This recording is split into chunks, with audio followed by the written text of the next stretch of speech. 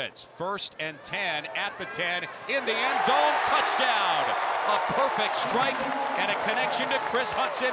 The Redhawks get the first score of the season.